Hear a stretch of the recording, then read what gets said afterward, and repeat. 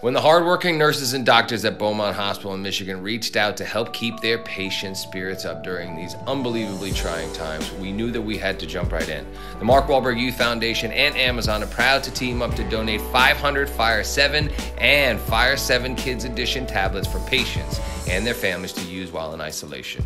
It's the least we can do. You guys are doing so much amazing work. I love you. God bless you. Thank you. Keep it up and stay safe.